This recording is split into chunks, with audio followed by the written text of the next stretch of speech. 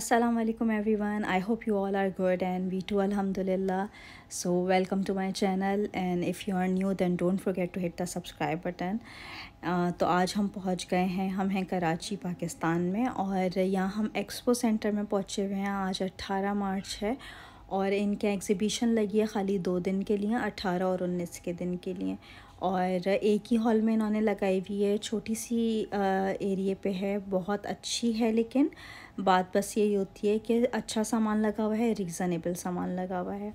और दूसरी बात ये कि यहाँ एंट्री की कोई एंट्री का कोई टिकट वगैरह नहीं है। दो गेट हैं, एक तो पैद जो पैदल आने वाले लोग हैं, उनके लिए फ़्रंट वाला डोर है। वो वहाँ से आ जाएँ तो उन्हें करीब पड़ेगा हॉल और हम गाड़ी में गए थे तो हम काफ़ी लंबा घूम के पार्क करके और फिर चल के अंदर हॉल में गए थे। तो इंट्रेंस की कोई फ़ीस वगैरह नहीं है। जब हम यहाँ पहुँचे तो हमें बहुत ज़्यादा अच्छा लगा, क्योंकि छोटी से बड़ी हर चीज़ यहाँ पे इन्होंने एक छोटी सी जगह पे रखी हुई थी। फ़र्नीचर भी था काफ़ी ज़्यादा और उन्होंने सेल पे लगाया हुआ था और सजावट की काफ़ी सारी चीज़ें थी। कपड़े थे, बच्चों के खिलौने थे और प्लास्टिक की बॉटल्स वगैरह किचन का स्टफ़ था। तो ओवरऑल मुझे तो बहुत ज़्यादा अच्छी लगी एग्ज़िबिशन और बहुत ज़्यादा लोग नहीं थे, बहुत घिचपिच नहीं हो रही थी, बहुत अच्छा अच्छा इन्वायरमेंट था। तो हम लोगों ने बहुत ज़्यादा ही इन्जॉय किया यहाँ पर। और सबसे अच्छी बात यह है कि घर के करीब है और हर चीज़ जो है वो रीज़नेबल प्राइस पे मिल रही है क्योंकि आजकल महँगाई काफ़ी ज़्यादा बढ़ चुकी है।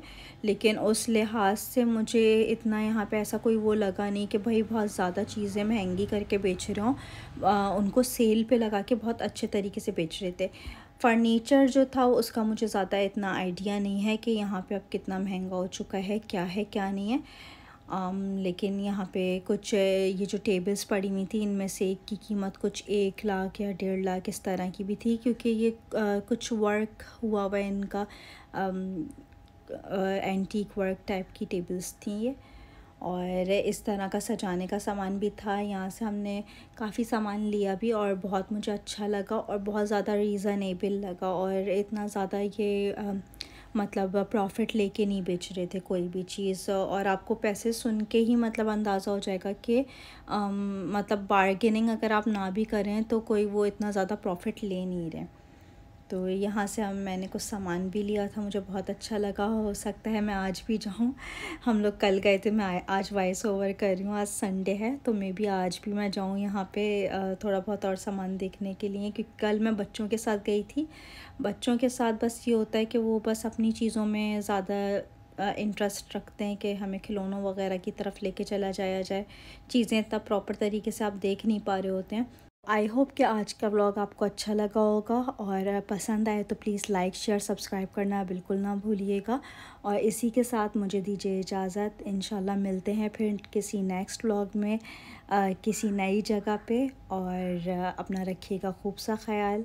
अल्लाह हाफिज़। और हाँ अगर चैनल को सब्सक्राइब नहीं किया है तो प्लीज़ सब्सक्राइब करना ना भूलिएगा। अल्लाह हाफिज़।